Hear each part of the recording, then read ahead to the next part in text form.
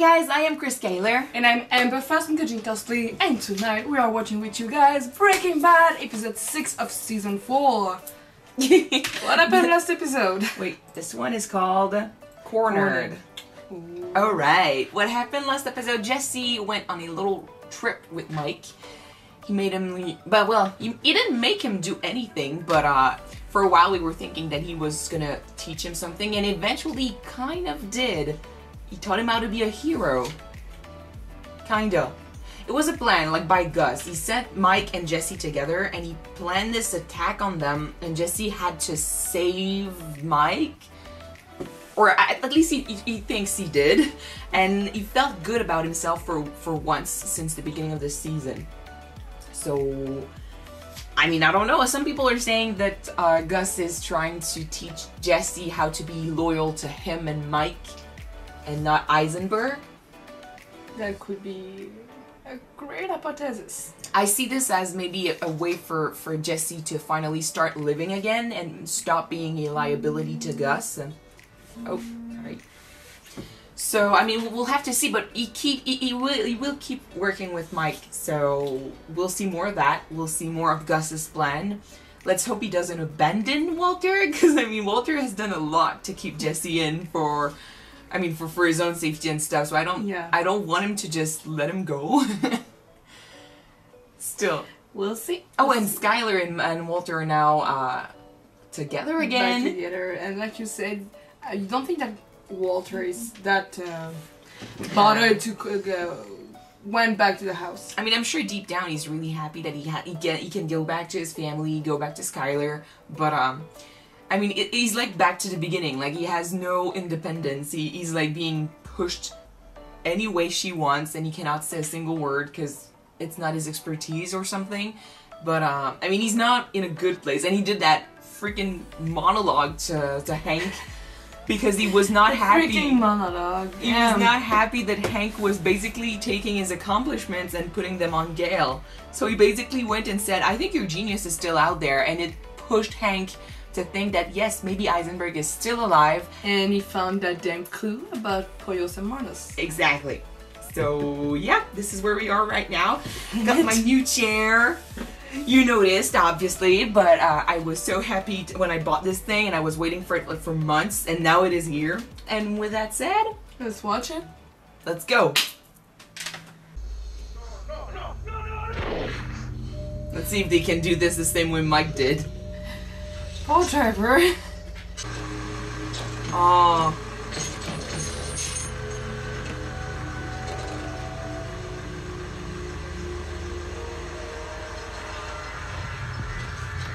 Oh shit. They locked them in. They did learn about their mistakes. They're getting dangerous. Like more dangerous than they were. That the thing is, they're after Gus. Eventually, they'll find Jesse and Mike. And my and Walter.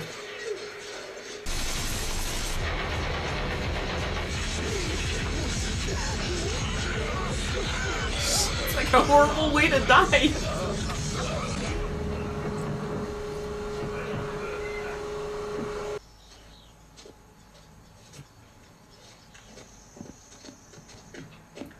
Just for that. Just for that Freaking. meth. And the thing is, now that Hank has his eyes set on Pollos Hermanos, he's gonna notice these things. Like two guys with guns. Walter! Two guys with What guns have you dead in the car. But then I was remembering your black eye. your uh, business disagreement that you don't want to talk about. I don't want to talk about any You should. ever. You must. Especially since now she works with him. Church She needs to know this. That's not what you need to And then I remembered the message you left me the other day. When I heard that, I thought that maybe you, I don't know, that you were regretting what's happened between us, and I get that. After last night, I, She said no more secrets. I think you're scared. I think that message was some kind of goodbye. No. Skyler. Yes. Last night was a cry for help. Oh, Jesus. Cry for help. I think some part of you wants Hank to catch you. You think that? Maybe though. That is just. Because I mean, maybe the stress level is too high now. I think it's more about pride and stuff. But, But uh, I think that there are kind of two ways to approach this. Uh, Who is it you think you see? Do you know how much I make a year? I mean, even if I told you, you wouldn't believe it. You clearly don't know who you're talking to, so let me clue you in. I am not in danger, Skyler. I am the danger. Oh my God! to oh get shot, you think that of me? No. I am the one who knocks. Holy shit. He was. I mean, he's the one who sent Jesse after Gale. But I am the danger god. oh my gosh, it's gonna end up with Skyler scared of him. Yeah. But And that's the she thing. kind of she, is now. she was implying that he was scared and that, I mean, it, it would be better for him to go to the police and stuff. We know that what he did last episode with Hank, that's because his pride was hurt.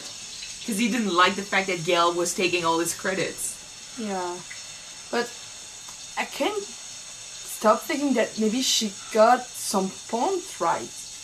Because he down. is in danger against Gus. And if Hank ended up finding Gus' business, he won't Gus won't be a threat for him anymore technically. But it's part of a overtake everything.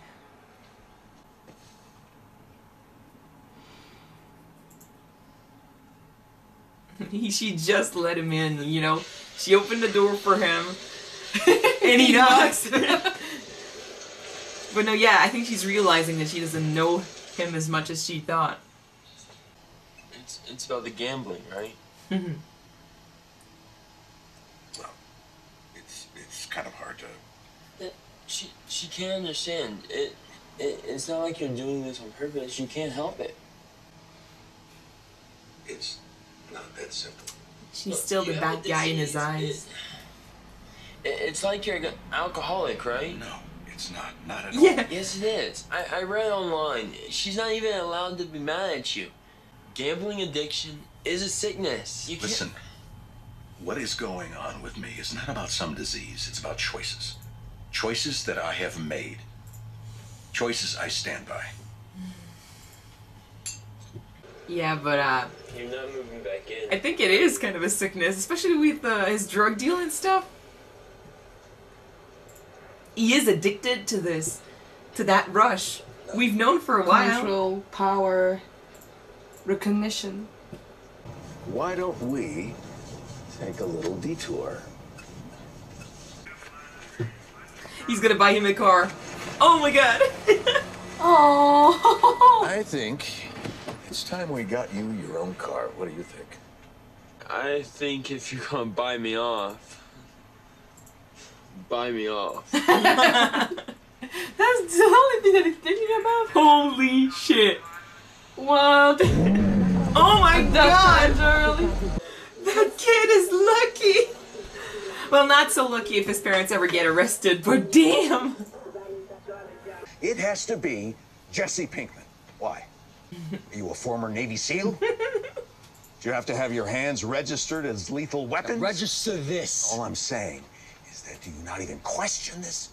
And I'm not trying to be insulting. I'm just trying to make you see things clearly. I see this thing probably started as Gus getting Mike to babysit me. Mm. But you know what? He's not dumb. I saved Mike from getting robbed. Even killed, maybe. So maybe I'm not such a loser after all. And that's the real reason. It was all staged up. If he says it's staged up, he's not gonna like this. Well, I can't do anything if it's not staged, that's what you're saying? No. What if, what if it's No. what? This robbery that you stopped wasn't even real. Gus can't kill you because of me. He knows I won't stand for it. He needs me, and he hates the fact that he needs me. So what does he do?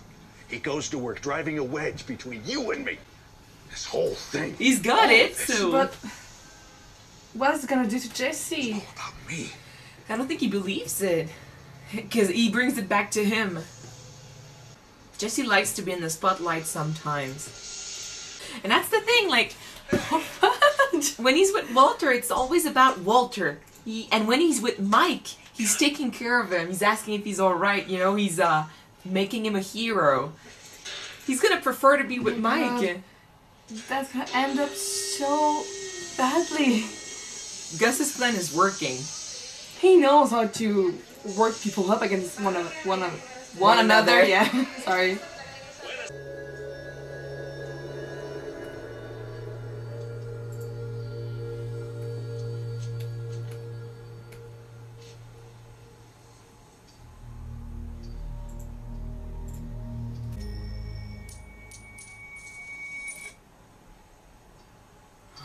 God. Is it a way for her to guess where she's going next or something? She's like just. She's going to Colorado? Ah. She literally was on her way out. She was leaving. Yeah. And she wanted Faye to decide for her to went back home, but in the end she decided for herself. Yeah. Because Deal. She can't abandon her son and her husband. The deal is we're watching that house. Couple down on the left with the tree in the front. Yeah? What for? Well, a little birdie told me there's some guys in there that have three pounds of our product, which they're selling, and mm. which they sure as hell didn't get from us. We sit here and watch that house until one of our entrepreneurs pops his head out. Then we ask a few questions and get our property back. I kind of understand why you seem bug off by it because he's a man of action. Where you going? I'm getting those pricks out of that house. Oh, your first attempt being such a wild success. You may know this whole PI sit in the car business, but I know meth heads. Oh, shit. Maybe he will become the guy. I'm kind of excited to know what he's about to do. Yeah.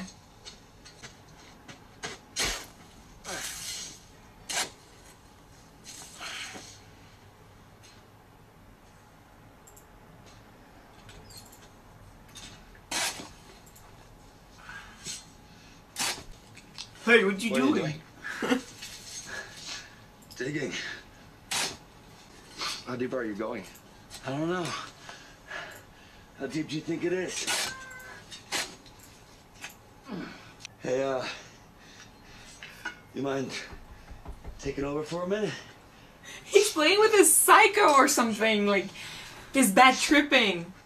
oh my god. He's just obsessed with what he's doing. He, he knows this. He's been through this. Mind if I use your John? oh my god. And that's the thing, Mike Oh cannot understand this. He's I don't think he's been in that si- situation before.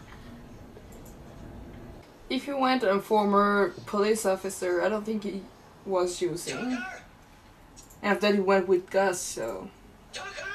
Hey, I'm a, I'm a friend of Tucker's. Oh do you want? shit. I just, uh, just wanna, just wanna buy some of the blue. It's not for sale.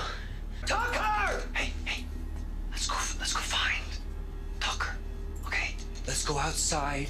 I don't have enough for you, all right? We're good. What? You can't know that. What does that mean? What? You don't put thoughts in my head. You don't put thoughts in my head. Absolutely, you're right. You're right. Tucker. Oh my god. Let's go. Mike might actually be proud. It was dangerous. Yeah, but. But- And it wasn't a setup. Jesse did something on his own that was not set up. Give us a minute, will you? Mm-hmm. Last time we saw him, he killed someone. The crew that hit our truck gave away the cargo to a couple local nobodies. Very disciplined of them, not keeping anything for themselves. It was all about sending a message. Which they did, literally. It was written on the bucket lid. Ready to talk? Set up a meeting. Let's see what they have to say. How did he do today? Pretty good. I mean, said yeah, you would be on his way to become the new Mike, maybe. Or maybe just the new Victor. Nobody can be a the new Mike. Come Yeah. on. I hear you can handle yourself. I guess. Good night. Excuse me. Why me? I like to think I see things in people. How can use them Yeah, for pretty my own profit. Exactly. But it is true. He's able to see things in people that they can do. He sees a potential to destroy Walter. Once Walter's gone, I mean, he can get rid of Jesse quite easily.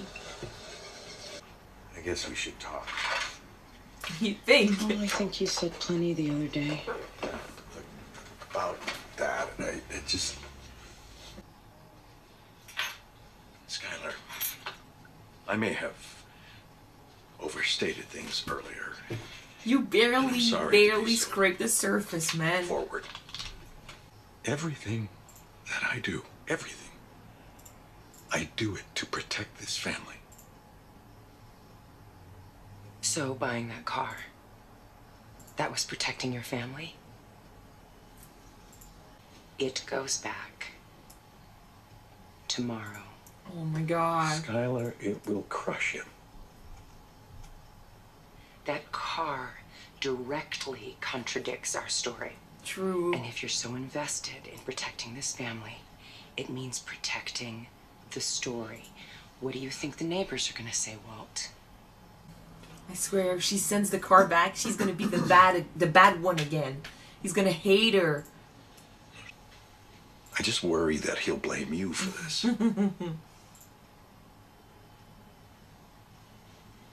Oh, he will. Once again, he'll blame his bitch mother for taking away what his loving father has given him. So, thanks for that. Someone has to protect this family from the man who protects this family. Oh shit! What a great comeback. I mean, you were right. I think she is getting scared, and she's seeing, and not scared of him in a, you know, he's gonna hit me way. In it he's gonna actually do something because of his ego and get us all killed. She's the one who was cornered this episode. Cornered with a choice, I think. when you're cornered, you don't have a choice. That's the thing. she had a choice, kinda, because she was cornered, but in a place where you have like four corners. That's why I think that's why she went there. It fell on Colorado, but she cares too much about the family to go there and just leave them all behind and save her own life. So she is cornered because she doesn't really have a choice. Like you said, she has to go back home because of what she feels for them, how she is with the family. She can't leave her son behind. And deep down, she cares about Walter. She was listening to that message over and over and over again. And but I mean, when when we first heard the message, we knew that eventually she was gonna realize something was wrong, and she did. Especially after what he said last episode. I mean, it was like a, a dead giveaway. She just, I think she's wrong when she says that it's because Walter deep down is scared and he wants to be caught. Maybe Walter, really deep down, wants it all to be over. He wants to be safe. He doesn't want to deal with Gus. But Eisenberg, it's his pride. And that's the part of him that she doesn't know. The part that she she saw a glimpse of this episode. She's just uh, a glimpse of it. Oh my god. And surface. she was troubled, even those, even scared. But just a surface. He's so freaking imposing. Every single time when he was, uh, you know, getting the keys for the car wash, he turned into full on Eisenberg. The other guy didn't notice, but it was, it got really dangerous for a moment here. And we were so, but I was afraid. I don't know about you, but I was afraid he was going to do something. He kind of did, but it was more funny than dangerous. So there's that. But um, she But- got she got to see a, a He was so bitchy about it. I kind of understand though that why the the previous owner wants you to say more or less. um, Oh, you need to you keep it a- a- as is. Uh, As is, I'm gonna buy it, As yeah. is. Um, this place. it's been 30 years since uh, I bought this place, and s- this is my baby. I took it very well. This is the first dollar that I won with my company. I'm so proud of it. And Walter, just to put turn the knife again and the wound, just Well- take it back because I am the boss now. So just To be fair, though, the the uh, the, the uh, ancient boss, the the other guy, he was twisting the knife pretty much. He was basically just bringing back all these years of he working doesn't with him. respect Walter. Look, Walter No. used to be his employee. Yeah. And the situation is so ironic that the employee take over the company and just put him on- on a bench. yeah. And he's still pissed about what happened because he was he had to sell because they're him that the water was contaminated. and that's why he's say he's basically saying as is. He's, he thinks that Walter's gonna have to deal with this pro- these problems, but for him it's just to cover up. It's not even about the business. So I'm a bit sad for that guy, although he was a real asshole when he sold the place. But uh, Walter just taking that first dollar and, and spending it on a, a soda pop, I'm like, Yeah. he doesn't care. Like I said, victory tastes great. Yep. That car was cool though. I don't. I well. I think they will send it back. It's really too flashy, and I mean, if he doesn't get into an accident for this, there will be drama if they send it back. So I mean, that's the problem we were maybe first first foreseeing But in this. couldn't Walter sell his own car and buy himself one a cheaper one? To kind of criticize that I got money to uh, Tell me, car. what kind of parent would sell his own car to buy a good car for their A son? great parent? No. No, okay, I know, I know. That sounds fishy. I know. But Skyler is not crazy though. I mean, that that's the thing. Walter doesn't think about this because he's what he's what he does always is is pride gets in the way, and he has the means to give his son what he wants and be the cool dad. You know, he wants his son to be on his side and to understand what he wants to, you know, what he says and stuff. And he's got all that money, and it's it's such a great thing for him to be looked at by his son with adoration, admiration, respect. And when he gives him that car, that's what he has respect, admiration. He's being loved for giving this to his It's son. sad because the way you just said it, it's like that he really did buy his son off. Yeah. Yeah. And he knows it. And his son knows it too. He's playing with it. It's cool. But Skyler is right. If he attracts too much attention because of his freaking ego, like he did last episode, like he kind of did this episode too, eventually he's going to get caught and put everyone in danger. He doesn't want to go to the police because he's the man. He's the one who knocks. And by the way, that monologue was great. He's the danger. But uh, he doesn't think about what it could do to everyone else. And she's like, I'm once again forced, kinda, to stay in that situation and do as he says. Well, damn. I'm gonna protect that family because he can obviously not do it. He is the danger that knocks on the door, so. He keeps, and I mean, the way she puts it, he keeps putting her in a situation where she is the bad one, but she's actually doing the right thing, and you just know the son is gonna hate her for this.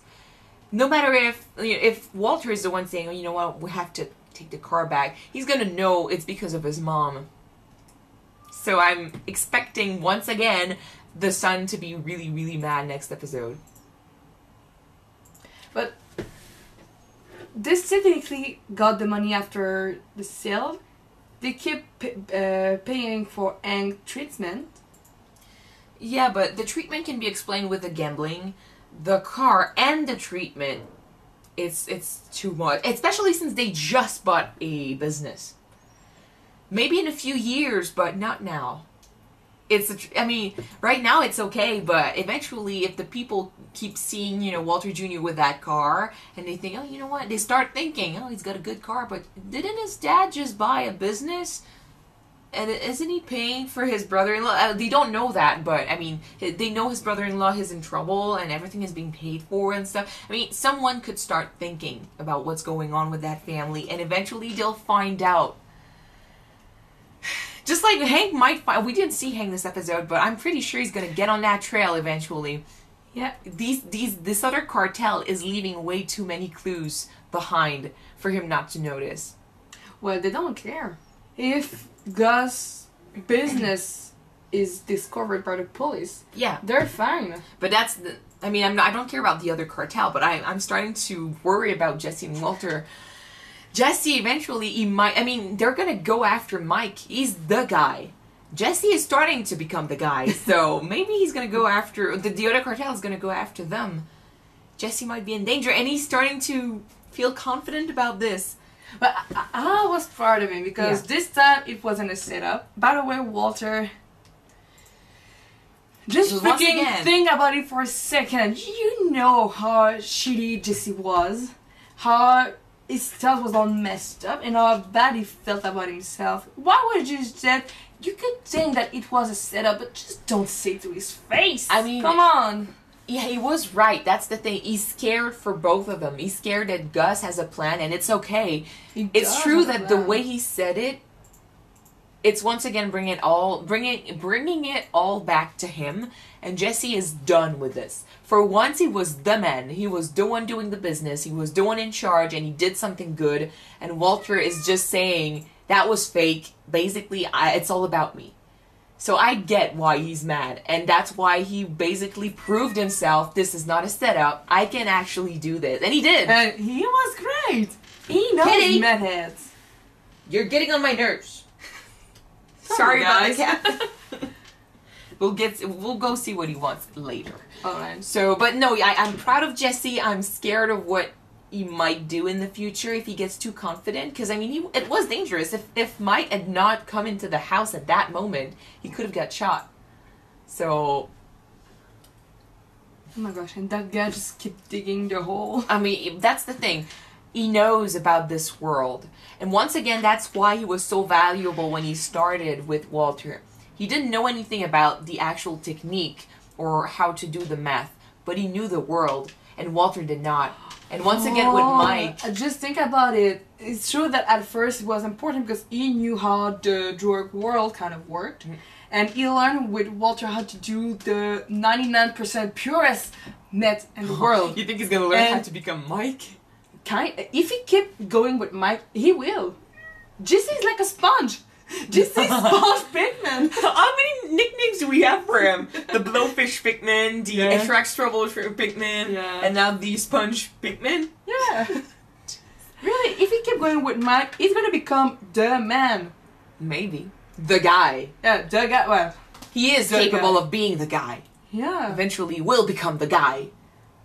Pretty sure there's a remix of this eventually somewhere. People have been talking about this, like there's a, a song about this. I don't know, but I'm I Yeah, want to look it up. if he does end up becoming the guy, think about how dangerous he will be. Especially if he ends up like if Walter ends up doing his own business, if he takes down Gus and uh, he he'll have his own bodyguard basically. Yeah, I don't think it will go. I don't think it will go that way, but uh, he could learn a few things from Mike. Yeah, that too. But Jesse technically knows how to do the math. If he's if he can be Mike, Walter, and Walter and, and Gus. Gus, he doesn't need Walter at the end. I don't know. I mean, I don't think he will ever become all of these guys, but he might start thinking he can be on his own with this. The, the, the only reason why he's working. I'm really, I'm, I'm really gonna be laughing my head off if at the end of it, Gus plan work against himself because he wanted to put Jesse in his pocket, but Jesse just become like a, a, a rabbit dog. Because that's exactly what he's doing. He's trying to build Jesse up to be his own guy and leave Walter behind.